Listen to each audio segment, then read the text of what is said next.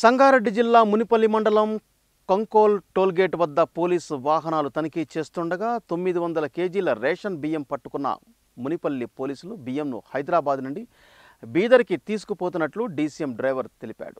బియ్యం విలువ సుమారుగా లక్షా పదివేల రూపాయలు ఉంటుందని అంచనా.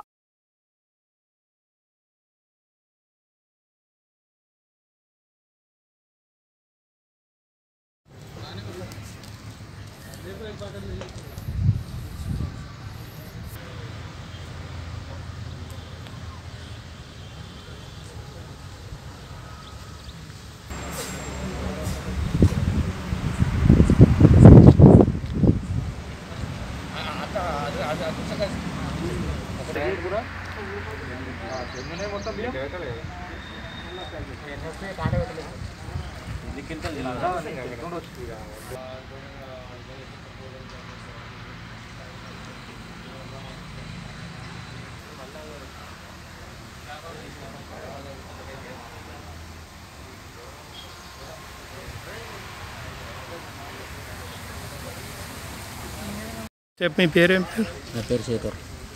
ఎక్కడికి నుంచి ఎక్కడ అవుతుంది హైదరాబాద్ నుంచి బీదర్. ఎంత ఉంటుంది మాలేది ఎనిమిది తొమ్మిది. ఎక్కడ పట్టుకోర్రు?